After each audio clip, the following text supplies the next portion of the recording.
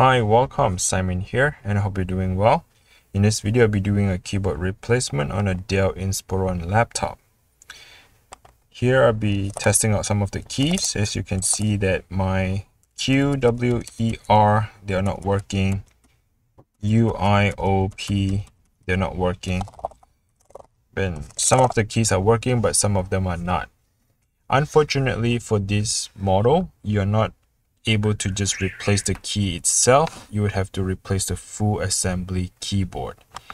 And that is what I'm going to do in this repair. All right, let's go ahead and get started. Let me go ahead and shut down the computer.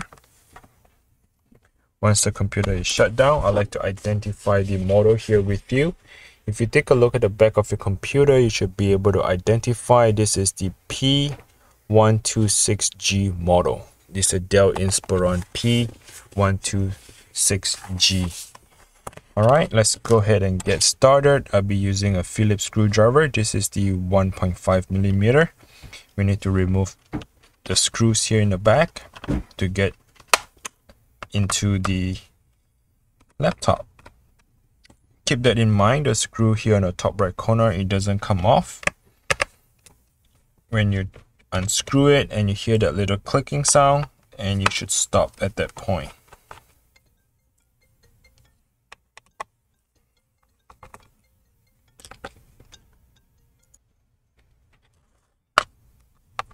There are four screws here at the bottom.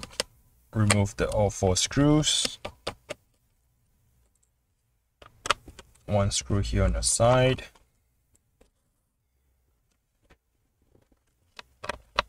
And the screw here on the top left corner again it doesn't come off. When you hear that little clicking sound that means you have reached to the max. The same goes to the top in the middle. All right so once that screw you unscrew it gives you a leverage where you can stick in your plastic prying tool to go ahead and separate the back cover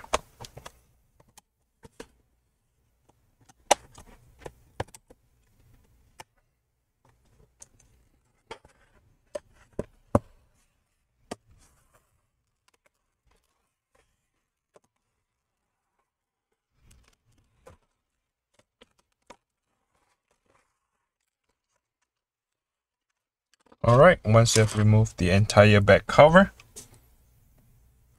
you can see the internal part of your computer. Okay, so this is the battery. And what I like to do is to go ahead and disconnect the battery first. There's a little tape that's taping down the connector. So let's go ahead and peel that tape back. We can get right into the connector and disconnect the battery.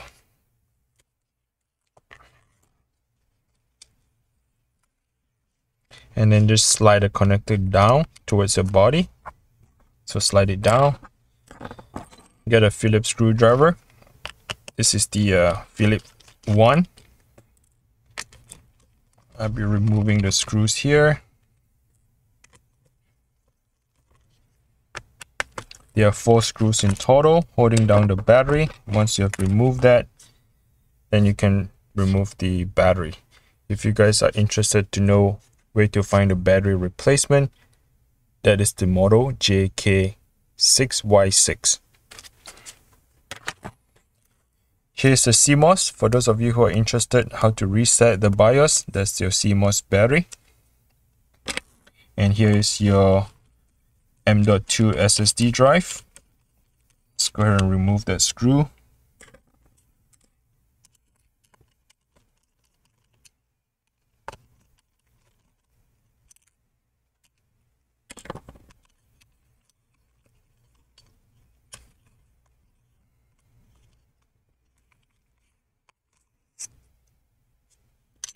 And then the bracket will just slide off. This is the mini version of the hard drive. Remove the screw slide it down towards your body. That is the hard drive 512 m.2 all right let's go ahead and remove three screws and that three screws are holding down the hinge on your top right corner.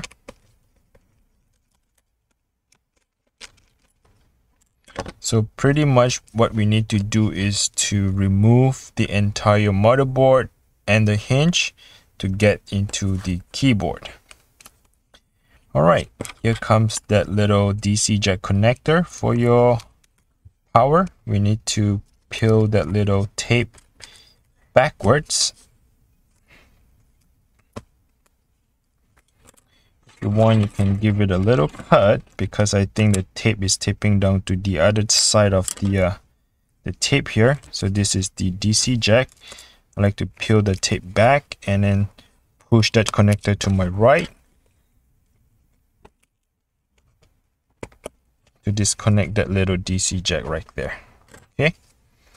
This is your LCD screen connector. There's a little clipper here.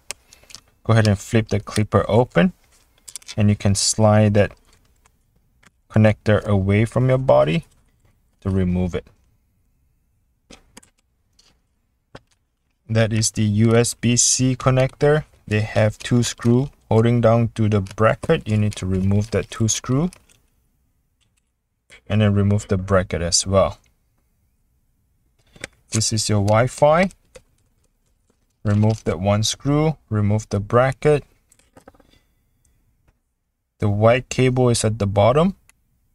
The black cable is on the top. The connector just sits on top of each other. You just have to lift it up and then slide that Wi-Fi cable to your left to remove it and just kind of expose that cable downwards. This is your speaker connector. Slide it down towards your body. This is your CPU fan connector. Slide it down take a chance to clean the CPU fan since we have gotten into the computer. So there are two screws, I believe. Or is it more than two? Two screws holding down the CPU fan. And you can look at all this dirty little stuff here. Can throw it away.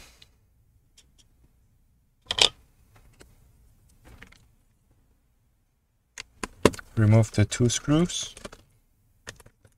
The two screws is holding down the left side of the hinge. Lift the hinge back.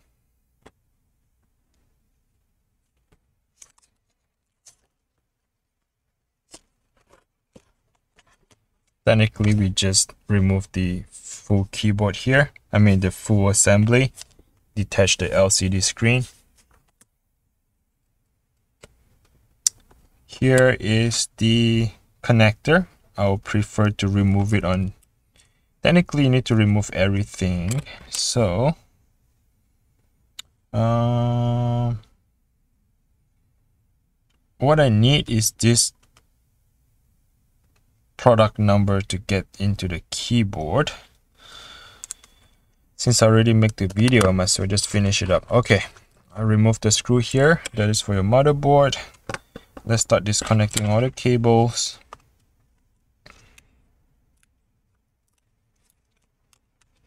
peel that clipper, open up the clipper and slide that connector to your left to remove it.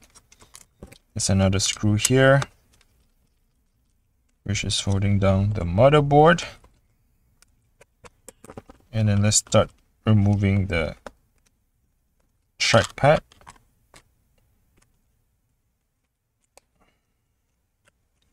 Keyboard lighting.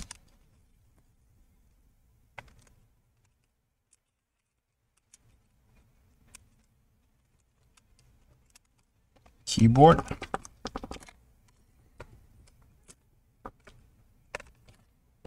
And the entire motherboard would just come right off. Put that on the side. And that is the full keyboard assembly. As you can see, it's one piece all together like so.